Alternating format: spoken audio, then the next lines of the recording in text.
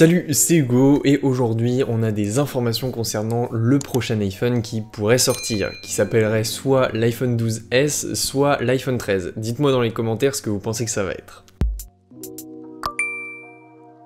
Premièrement, vous devez savoir que l'iPhone 12 mini est l'iPhone qui s'est le moins bien vendu dans la gamme des 12. Donc il se peut que soit Apple arrête sa fabrication, soit passe à autre chose sur les prochains modèles d'iPhone. Effectivement, c'est surprenant, mais c'est logique, sachant que pour 100 euros de plus, on peut avoir le modèle normal et que pour pratiquement la moitié du prix de ce dernier, on peut avoir un iPhone SE qui a la même taille avec quelques différences de caractéristiques que vous pouvez retrouver ici dans une vidéo qui se trouve sur la chaîne. Donc pourrait partir sur autre chose que l'iPhone 12 mini cette année. Apparemment, selon les rumeurs, on pourrait avoir un capteur d'empreinte digitale sous l'écran du prochain iPhone, ce qui je pense ne sera pas le cas, étant donné que selon les informations qu'on a sur la prochaine mise à jour d'iOS 14.5, on aurait la possibilité avec Face ID de pouvoir prendre en compte les masques et déverrouiller votre iPhone, même si vous avez votre masque. On va parler maintenant qui est la plus grosse, puisqu'on va comparer avec Samsung, étant donné que le prochain iPhone pourrait passer à 120 Hz de taux de rafraîchissement d'écran.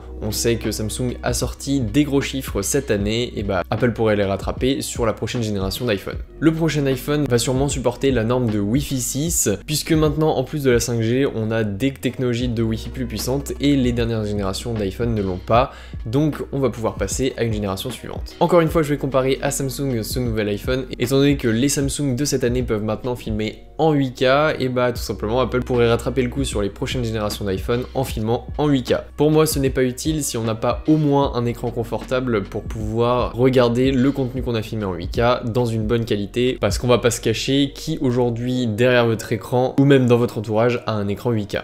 Voilà. Il y a une probabilité, même si elle est encore faible pour cette année, je trouve que c'est encore trop tôt, de ne plus avoir de port de charge, donc c'est-à-dire ne plus avoir de Lightning, mais d'avoir uniquement la technologie MagSafe. Pour moi, c'est un petit peu trop tôt, la technologie MagSafe est un peu jeune, et qu'en est-il des transferts de fichiers via Lightning, via câble, vers les PC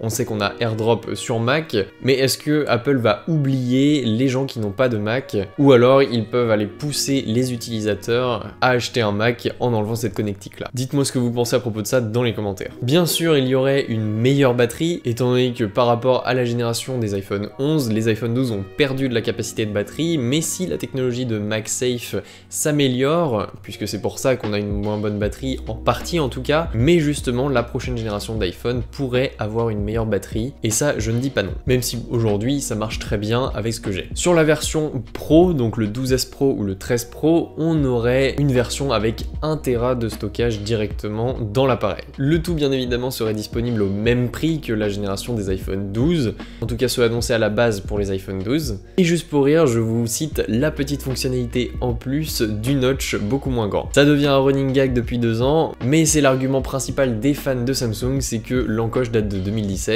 et que les designs sont encore très moches. Ça c'est totalement subjectif, mais je vous laisse vous faire votre propre opinion par rapport à cet argument là. N'hésitez pas à me dire ce que vous pensez que le prochain iPhone sera dans les commentaires, nous on se retrouve pour de prochaines vidéos, n'hésitez pas à aller en regarder d'autres, n'hésitez pas non plus à vous abonner, activer la cloche et me suivre sur les réseaux sociaux, nous on se retrouve pour de prochaines, salut tout le monde